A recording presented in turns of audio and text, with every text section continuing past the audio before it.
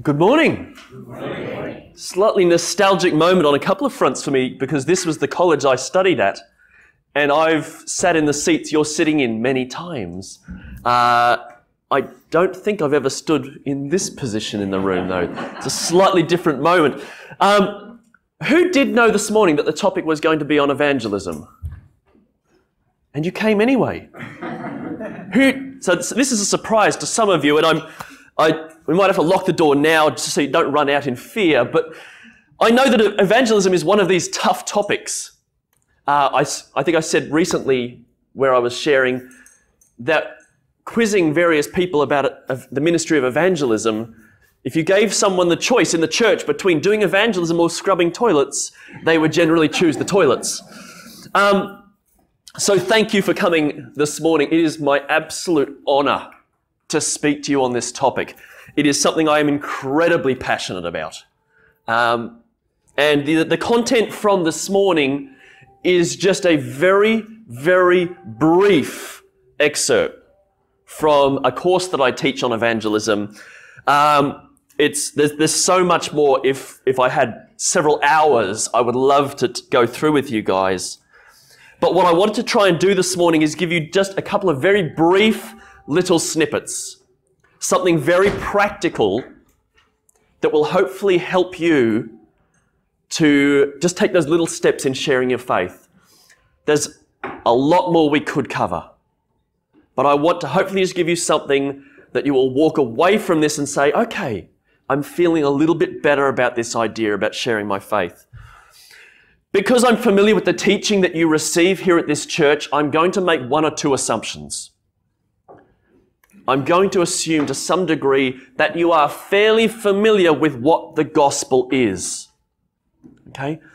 I'm also going to assume that you all are aware that all Christians are commanded to go out and share their faith. Okay? If that's something that you're, you're not 100% sure on, or if you have doubts about that, please come and talk to me afterwards. Talk to one of your elders, uh, the pastoral staff here, um, I'm sure that's a conversation that can be picked up. I'm also going to make another assumption based on statistics and my experience. I'm going to assume that most people in this room find the idea of evangelism difficult. They find it scary. And I'm also going to assume that most of us do not do it anywhere near as often as we should. I'm not talking about standing on in the street and talking to complete strangers. That's that's something I do a lot of, uh, but that's not normative for most Christians. I'm talking about sharing your faith with the people that you encounter in day to day life. Now, stats on evangelism, they're very hard to get, but every statistic that I find shows that the vast majority of born again Christians do not share their faith or they do so incredibly rarely. They feel that they do not know what to say. They're concerned about messing it up. And they don't know how to bring up the message of the gospel without it being supremely awkward. So this morning, I want to briefly address a couple of these challenges. And again, the goal is hopefully that you will feel bolder sharing the message of salvation with those people around you. I'm going to look at three things, three key concepts. The first one is who is responsible for conversion. We're going to look at then the challenge of dealing with language and content in a world that does not understand Christianity. And I want to briefly give you a little bit of a, a, something of a strategy to get into gospel conversations. So, who is responsible for conversion? The challenge of language and content, and how can we get into the gospel? Now, the, the, the topic of who is responsible for conversion, that would normally be a sermon on its own. We're going to really breeze over this. If you've got your Bible there, would you turn with me, please, to Ephesians chapter 2? A passage that I assume is very familiar to a great many of us. Ephesians chapter 2, we're going to look at verses 1 to 5. Let me read it for us. Uh, I'm reading from the ESV. I assume many of you will be on the similar translation. Ephesians 2, verse 1.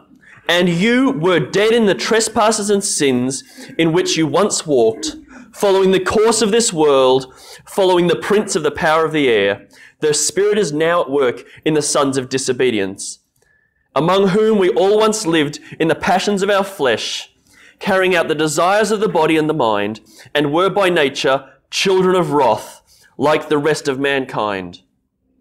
But God, being rich in mercy because of the great love with which he loved us, even when we were dead in our trespasses, made us alive together with Christ.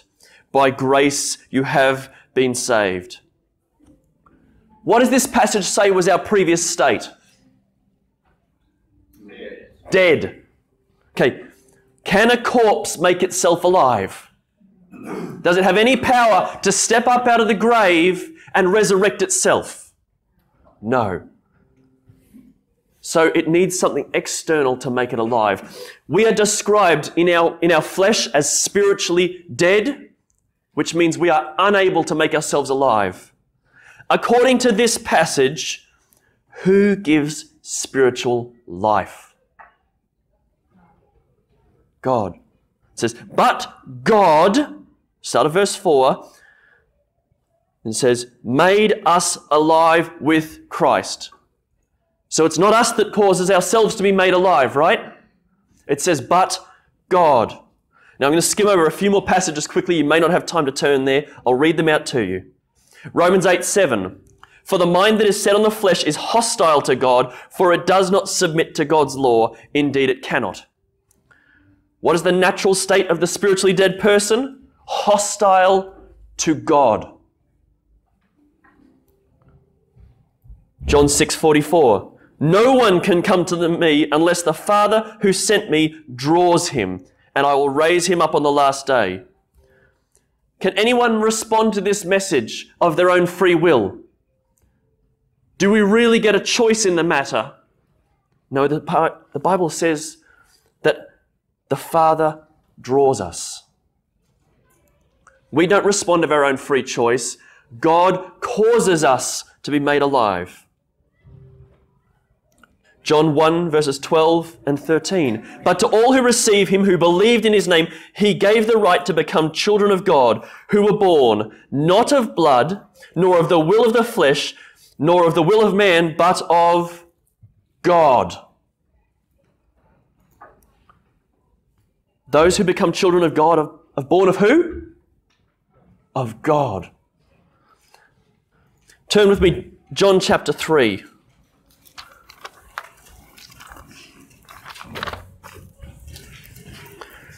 A very, very familiar block of text again. I assume very familiar to the, to the vast majority of people in this room. John chapter 3, we're going to be picking it up at verse 3. Verses 3 to 6. Jesus answered him, Truly, truly, I say to you, unless one is born again, he cannot see the kingdom of God. Nicodemus said to him, How can a man be born when he is old? Can he enter a second time into his mother's womb to be born? Jesus answered, Truly, truly, I say to you, unless one is born of water and the Spirit, he cannot enter the kingdom of God. That which is born of the flesh is flesh, and that which is born of the Spirit is spirit. Scripture is clear. We must be reborn spiritually. And I think we're seeing a theme. Who is it that causes us to be born again? Do we cause ourselves? No. It is clearly of God. Now, did anyone see any reference here to a person being born again because of an evangelist? Does the evangelist have some magical ability to cause a person to rise from spiritual death?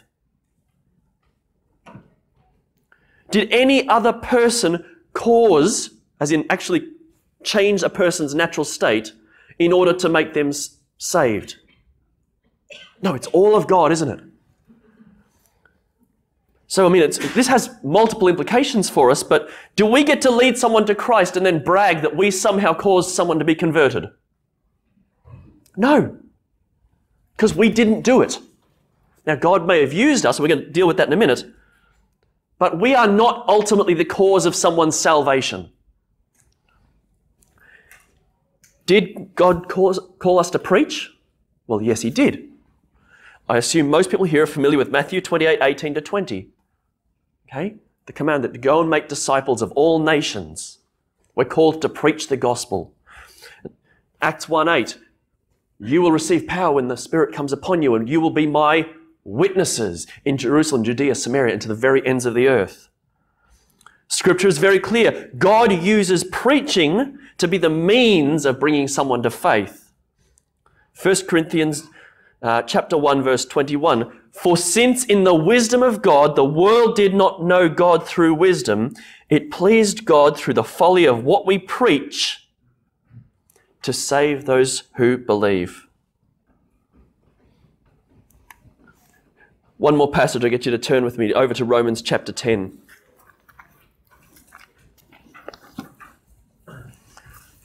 I hope you're seeing a theme in this, that there is a tension here.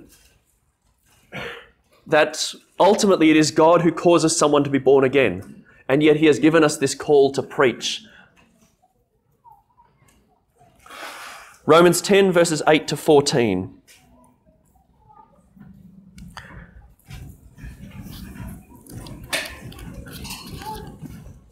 But what does it say? The word is near you, in your mouth and in your heart. That is be- the word of faith that we proclaim. Because if you confess with your mouth that Jesus is Lord and believe in your heart that God raised him from the dead, you will be saved. For with the heart one believes and is justified, and with the mouth one confesses and is saved. For the scripture says, everyone who believes in him will not be put to shame. For there is no distinction between Jew and Greek, for the same Lord is Lord of all, bestowing his riches on all who call on him. For everyone who calls on the name of the Lord will be saved. How then will they call on him in whom they have not believed? And how are they to believe in him of whom they have not heard? And how are they to hear without someone preaching? There's a tension. God alone causes a person to be saved. A person must respond in faith, which will, they will only do when God causes them to be made spiritually alive. And yet God uses Christians to share the news of Jesus with the spiritually dead. We are God's ordained means to bring a person to the knowledge of the good news. We do not convert a person. We are not responsible for whether they respond to the message, but we are called to preach the message. And what an amazing privilege that is. In 2 Corinthians 5, Paul writes in verse 14, For the love of Christ controls us. So Paul was aware that he was compelled. And then down to verse 18, all this is from God, who through Christ reconciled us to himself and gave us this ministry of reconciliation. That is, in Christ, God was reconciling the world to himself, not counting their trespass against them, and entrusting to us the message of reconciliation. Therefore, we are ambassadors for Christ. God making his appeal through us. We implore you on behalf of Christ, be reconciled to God.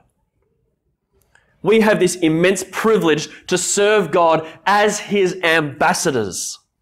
We get to go to this lost world who currently stand as God's enemies and proclaim to them that they are facing punishment, but that the God of the universe offers them terms of peace. We are not responsible to create the message, and we are not responsible for their response. We are responsible to transmit the message clearly and in language that the person understands. Does that still sound like a daunting task to you? Two promises in Scripture that I think are so crucial to us. The first, Acts 1 8, I already quoted.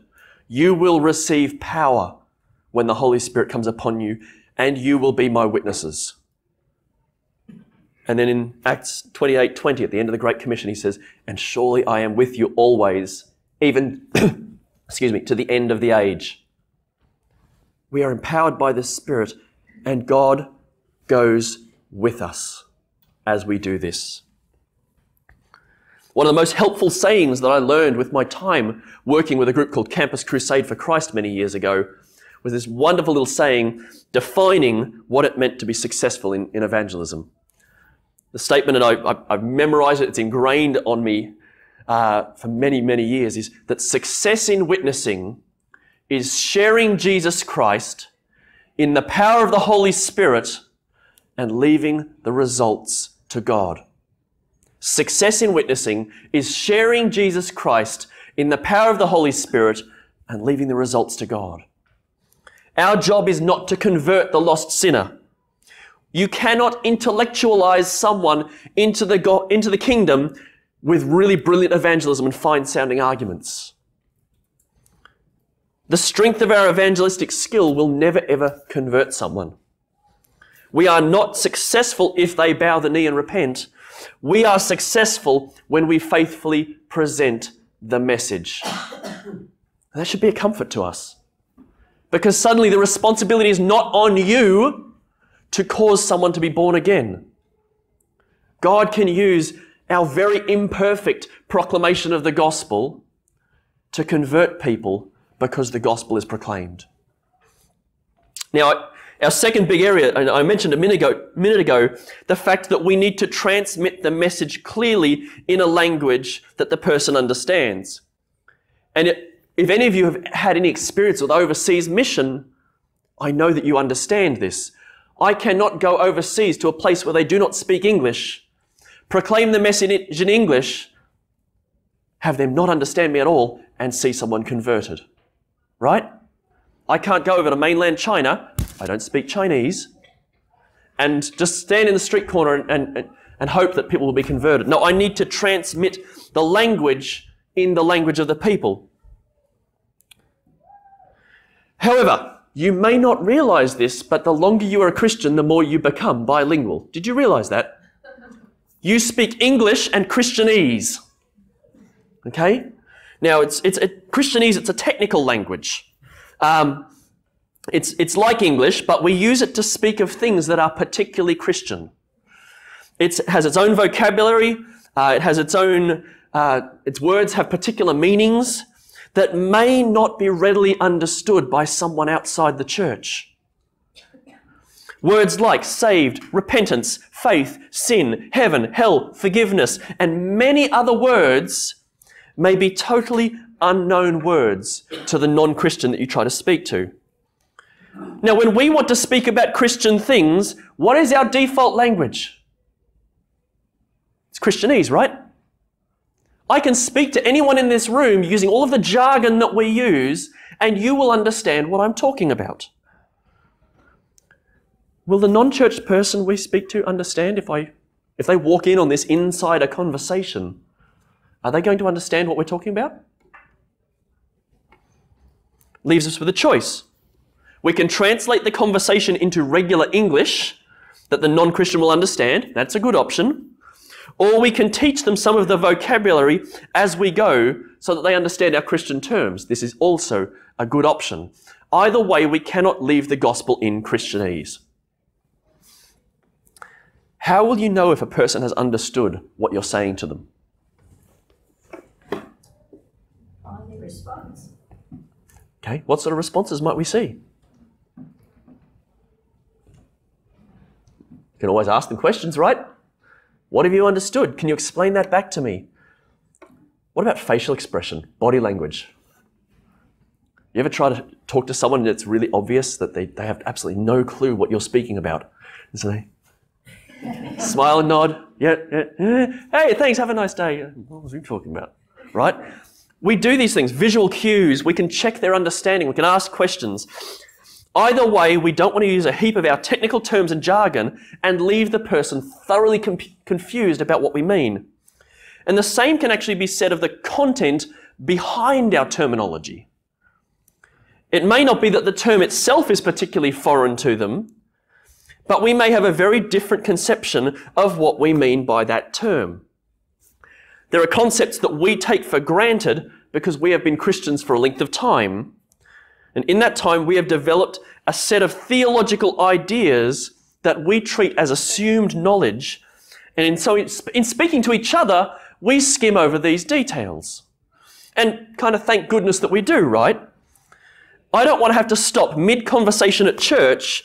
I'm chatting maybe with Paul here, and I have to stop and clarify that I mean the Judeo Christian God, who is one God, eternally existent as three divine persons, who each play a particular role in our salvation history. I don't want to have to outline his omniscience, omnipresence, uh, his immutability, his holiness, his impassibility, his justice, his compassion, and all that. Every time I use the term God at church, our conversations would go nowhere if we have to stop and define everything every time. If I had to do that every, every time here, we'd, we'd, we'd never make any progress at all. Inside the church, we share a common understanding of who God is. We understand lots of details about the life of Jesus. We know what sin is and why it's an issue. We know that Jesus' death paid the penalty for our sin so that God could forgive us. The average non Christian does not share our theological framework. I cannot take for granted all the things that I can skip over when I talk to you. Instead, we need to help them understand what we mean, and in particular, what they must understand in order to be saved. Now, to help us understand how our content may need explaining, I want to think through just one key concept of the gospel. I want to think about our concept of God. I cannot tell you the number of times I have spoken to someone on the street who tells me that they believe in God, but when I ask more questions, I discover that their idea of God is totally different to the biblical idea of God. And if at that point I chose to just walk on with the gospel and, and move our way through, at the end the person is going to be thoroughly confused. Think of the ways in our world that people understand God.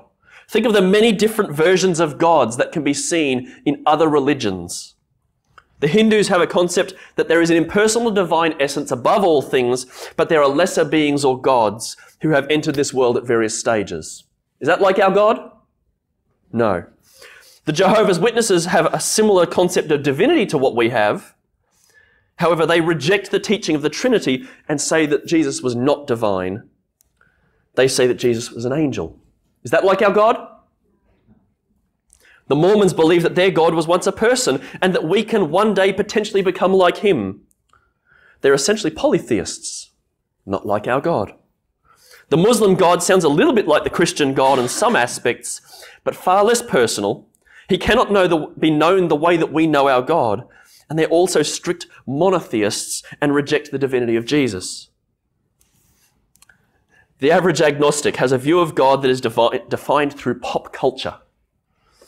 Maybe he's the old guy with a beard in the sky. Maybe they think of God as the one who started the world but then step, just stepped back and let it run. Maybe they think the God of the Bible is a tyrant. You heard that view before? How would I know what they believe about God with all these possible views? How are you going to explain God to the non Christian that you meet? Are you going to give them a three hour theology lecture? Please shake your heads at this point. Please don't give them a three hour theology lecture, okay? I would suggest that the way we explain God to a non believer is going to depend a lot on who they think God is. How do we know what a person believes about God? You can ask them. Such a simple thing to do. And yet, if you ask them and flesh out what they understand about God, when you then explain God to them, you're going to be able to work in with what they understand. Look for the ways their understanding of God contradicts the biblical idea of who God is. Now, here's where it gets a little tricky.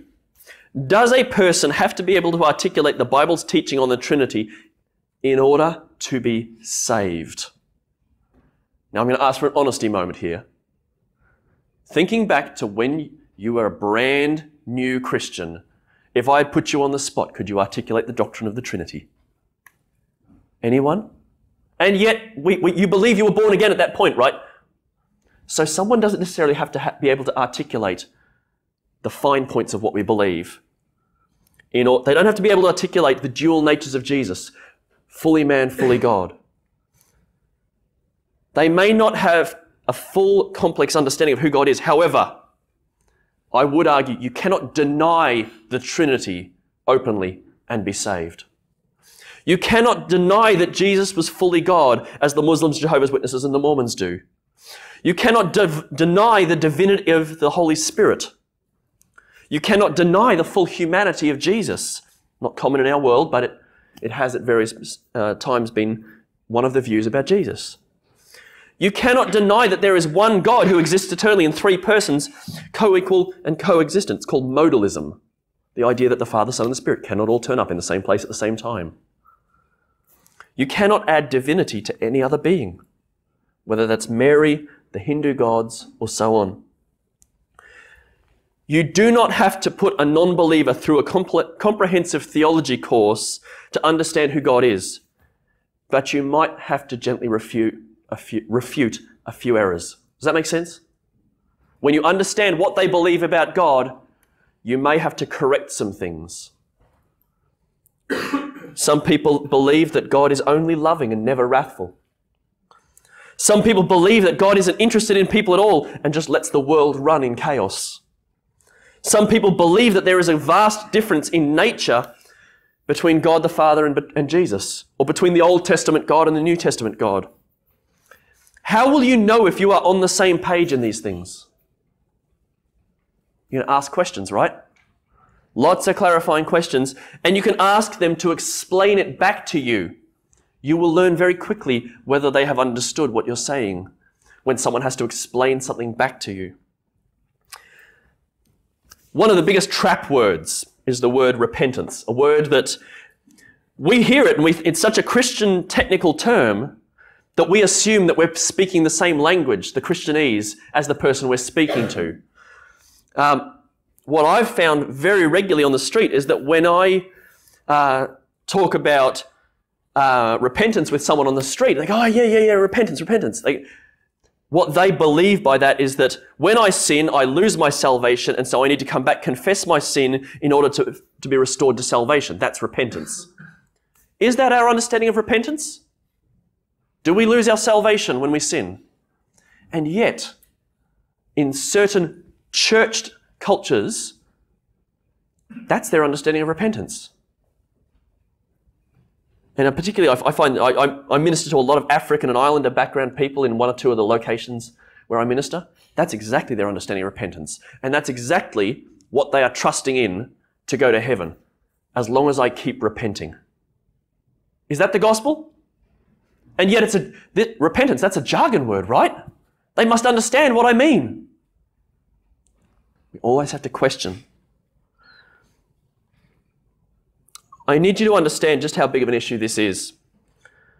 Because we can so quickly use a term or refer to a concept and move on without realizing. But the net effect is that the non Christian looks at you with a blank stare or they nod along pretending to understand so that they can be polite. One of the biggest tools I use in explaining these hard con- concepts to a non Christian is analogies. I have an enormous number of analogies that I use in my evangelism, and I do not have time to cover them this morning.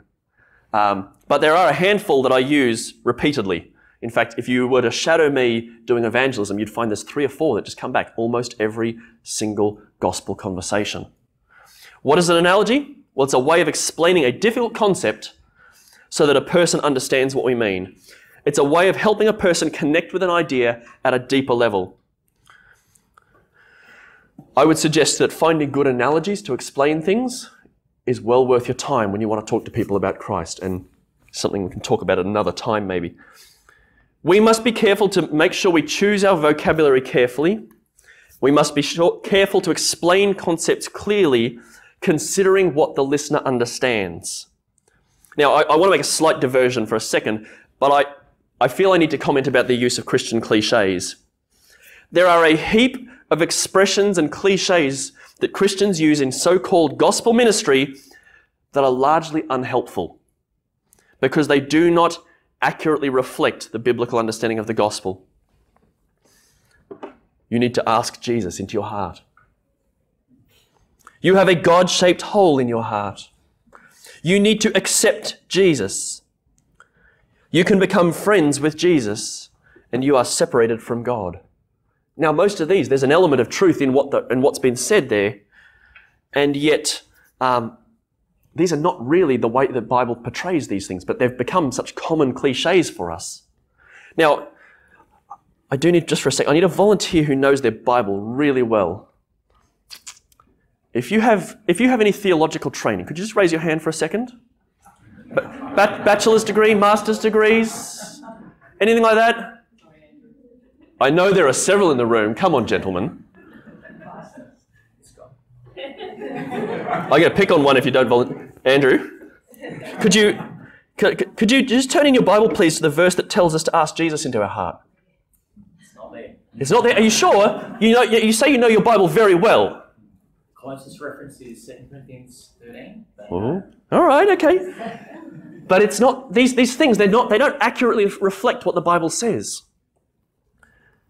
And so, what we need to do as well is make sure that our own understanding of the gospel is accurate and clear before we uh, try and get into the gospel with someone uh, that we want to witness to. Now, I did. That was that was our second thing, which was dealing with the issue of content and vocabulary. I want to give you something really practical to take away from this morning. For many people, the process of getting into a gospel conversation is genuinely terrifying. Does anyone find that? We can be honest here, okay? It's, it can be. It can be genuinely terrifying to try and get into the gospel itself. No one wants to look like a weirdo as they awkwardly try to get into a spiritual conversation about Jesus, right? Now, I want to break it up a little bit. I want to suggest that gospel conversations come from three different types of interactions. The first, conversation type one, is where the other person brings it up. And if we're honest, this is the one we kind of hope for, right? We feel a lot safer if someone comes and asks us about what we believe and why we believe it and how they can be made right with God. Would you raise your hand, please, if someone has uh, initiated a conversation with you about this in the last week?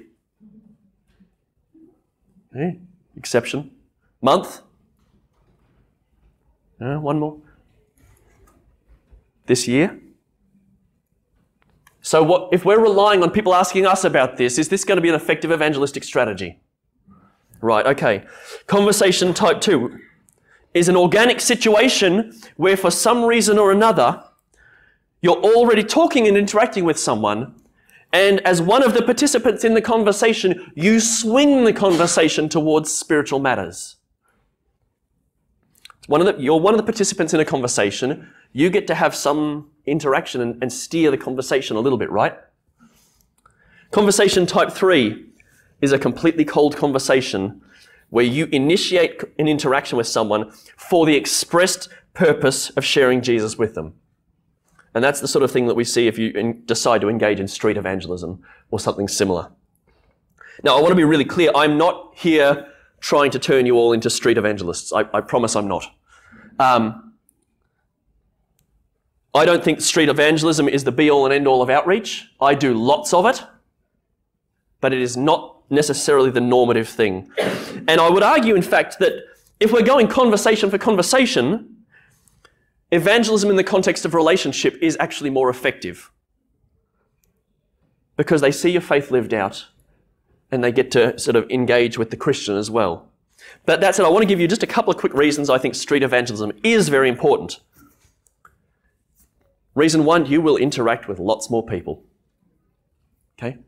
The fruitfulness that we see in street evangelism, conversation for conversation, we don't see as many people impacted as we do in relational stuff. But the sheer volume of people you speak to, you do it long enough, you will see results. We also tend to hold back. Reason two, we tend to hold back with people we know because we realize the relationship is at risk, right? If we push too hard, might damage the friendship. But sharing with a stranger is actually fairly low risk because you'll most likely never see that person again. Sometimes it means we can be a little bit bolder with a complete stranger than you would be with a family member, a work colleague, a classmate, or a neighbor. Reason three street evangelism is an amazing learning environment for learning to share your faith. Not only is it low risk, so we feel a bit safer giving it a go, but on the street, you can watch an experienced evangelist and they can mentor and coach you. You will grow faster in your ability to communicate the gospel on the street. Let's assume you don't have someone asking you about your faith. Okay, well, take option one off, off the board for a minute. Um, and let's just consider how you might actually start a conversation with someone uh, and swing it into the, into, uh, the gospel. Now, there are a load of ways you can get to the gospel. There are lots and lots of tools and other things that you can use. I use lots and lots of gospel tracts. But one that I want to talk about to, just for the remainder of our little bit of time today, give me another time, is the use of questions. Um, I'm a massive, massive, massive fan of using questions to get into the gospel. And the beautiful thing about it, you don't need to have anything in your pockets. You don't need to have tracts with you. You don't need to have anything else. You just ask lots of questions. And there are three particular transitional questions that I want to bring to you this morning that can help you move from a not particularly religious or spiritual conversation into presenting the gospel itself. They're not the only three questions you use in a conversation, but they are three key transitions. Does that make sense? The first question that I, that I suggest asking with people is Do you have a religious background? Do you have a religious background? And I will often respond with that question to any vaguely religious topic, anywhere where I can find some even tenuous link to the topic of religion. What'd you do on the weekend? Well, actually, I go to church every Sunday. Do you have a religious background? What do you think of the decision to detain the refugees? Well, actually, my views on that are shaped by my Christian faith. Do you have a religious background? How come you don't swear like everyone else around us? Well, actually, it's because I'm a practicing Christian. Do you have a religious background? And so on and so on. So it's almost it's, it's the bounce back question for anything that someone might say to me if I get half a chance. Um, you can use the question with a tract. Did you get one of these? It's got a Christian message. Do you have a religious background? You don't have to respond to a question either. You'd be amazed how much traction you get from simply saying, Hey, I'm curious. Do you have a religious background? I'm a Christian. Do you, do you have any religious background? Now, why is this a good question to lead out with? And I'd suggest it's because people have a favorite topic. What is everybody's favorite topic? Themselves. Right. Everybody loves to talk about themselves, their own views, their own opinions, what's going on in their life. And so it's slightly sneaky approach, but you're exploiting that to get to the gospel. Everyone loves to speak about themselves and their opinions, and when they answer you and tell you about whatever sort of religious background they may or may not have, the goal is to then ask lots of clarifying questions and understand their worldview, their beliefs. And at this point, I'm going to say to you, you must resist the temptation to preach at them. In this stage of a conversation, do not start sharing what you believe. Ask more questions. Why do you believe that? What does that mean? How does that affect your day to day life? Why have you remained up now that you're an adult? Why did you decide to leave the such and such faith? Lots of clarifying questions. Understand their worldview. There's two reasons. Why do we want to understand their worldview? Well, one, we want to know what they understand already, right? Because that will help us when we share with them. But I think there's also another really crucial reason. Why do we want to ask lots of questions about them? Why do we want to delve into their world? Because listening to them shows that we love them. And we cannot, when we're not just simply out to smash them over the head with our own worldview. I cannot stress enough how crucial this is, especially while we are building a rapport with them. It's an old worn out saying, but it's true that people don't care how much we know until they know how much we care. People will not listen to you in general. They might be polite and, and tolerate you, but in general, they will not really listen to you until they know that you actually care about them. And that is the same whether you're doing street evangelism or talking to your neighbor over the fence or a colleague at work, any context. when you ask them what their religious background is, and then you ask lots and lots of clarifying questions, they will know that we actually care about them and they're not just simply some evangelistic target. You will be amazed how much you learn when you just listen to people and ask good questions. My second big key transitional question. The first one was Do you have a religious background? Second one is What do you think Christians believe? So now I'm switching from what they believe about their own worldview to what they think about Christianity, what they've come to grasp. And just like the last question, it's designed to draw out their understanding. And I would encourage you, affirm when they get something right. Okay? They say something about Christianity that is accurate. It is worth affirming and say, hey, yeah, that's, you're absolutely right. That is a big teaching of Christianity. And I would suggest that you try to resist the urge to correct small, non essential things and ask more clarifying questions. Clarify, clarify, clarify, clarify. Because what did we just finish saying earlier about the issue of jargon and terminology? They might throw out some jargon at you. Oh, they, maybe they do understand Christianity. No, maybe they just know the terms. They may not, they probably don't understand it. Ask clarifying questions. What do you think that means? Why do you think that's the case? Where did you learn that? Some of the questions can be responsive. That's, you know, they say, they say oh, I, I think it's, it's all about having faith. Oh, what do you mean by faith? What do you think that term means? What does it mean to you? Resisting the urge to preach a little bit. So we're going to ask them, do you have a religious background? And then we're going to ask them, what do you think Christians believe? Or what do you think is the main message of Christianity? And the third question is, can I explain it to you? So they've just spoken for a significant block of time about what they believe and what they have picked up and understood about Christianity. And it's a permission question. I think it's a very helpful one. And it's usually paired with a response to their understanding of Christianity. You're right, do unto others is a teaching of Christianity. But I think there's something more important that we need to understand. Can I explain it to you? I'm not sure you've quite grasped the main idea of Christianity. Can I explain it to you? Or you might, it, it might be, oh, it sounds to me you may not have had much opportunity to learn about Christianity. Can I explain it to you? And sometimes you get someone that, when you ask them about Christianity, they're just genuinely clueless. They know absolutely zip. You can say, well, look, I, I really appreciate your honesty. Um, if you're interested, can I explain it to you? And sometimes I will phrase it as, can I explain it to you? Because then when we finish, you'll actually have a better understanding of what Christians believe and why they believe it. You'll be able to make a more informed decision about whether or not you believe it's true. Now, essentially, I'm, I'm phrasing it in a way that I'm, ser- I'm offering to serve them by explaining something that I know that they don't. In general, by this point in the conversation, I've asked them so many questions about their worldview that they don't find my offer to teach particularly offensive. They know that I love them. They know that I actually care about what they believe in and think.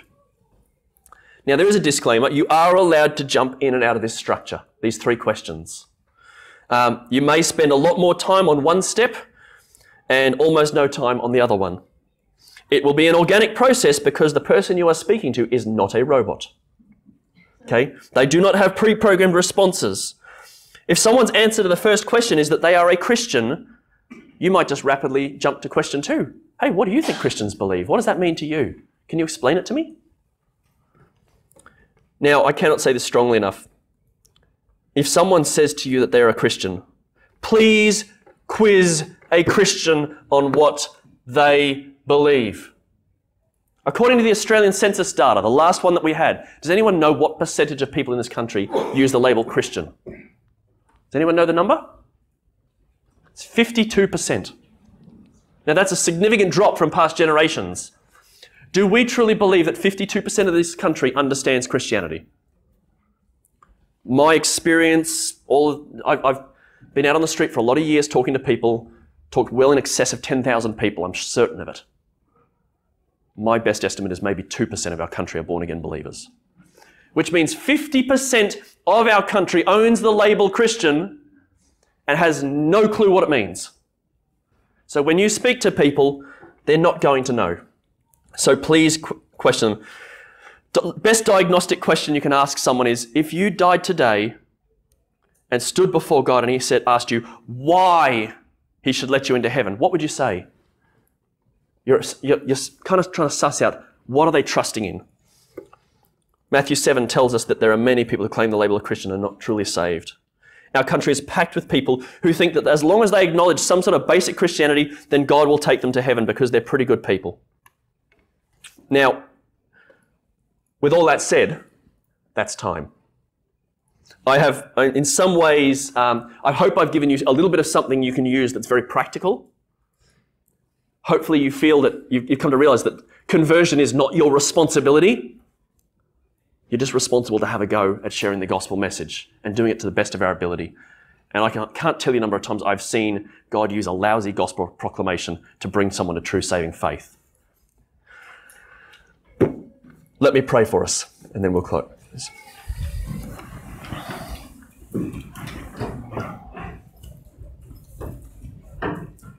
Our loving Father, it is truly amazing that you would look at us in all of our wickedness and sin and depravity, and that you would love us and send Christ to die for us.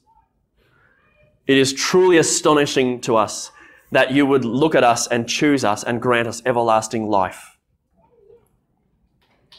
But it is also truly amazing that you would give us this immense privilege of serving you as your ambassadors to this world. That you would give us this immense privilege of serving you as preachers and teachers and evangelists and, and, and being your witness in this world. I pray, Lord Jesus, for these people. I pray that they would be encouraged to evangelize more, that they would look at this and say, I, I can do this because God is with me. And that as a result, they would share their faith more. They would tell more people about you and what you've done, and that we might see many, many, many more people come to a saving knowledge of the gospel. Lord, would you encourage them this day as they seek to serve you in the ministry of evangelism? I thank you for everyone in this room. We commit the rest of this, this morning to you, the, the upcoming service. We pray as well for our dear brother James White that you would speak boldly through him this morning. And that above all things, your name would be exalted, that you would be lifted up and magnified. And in your name we pray. Amen.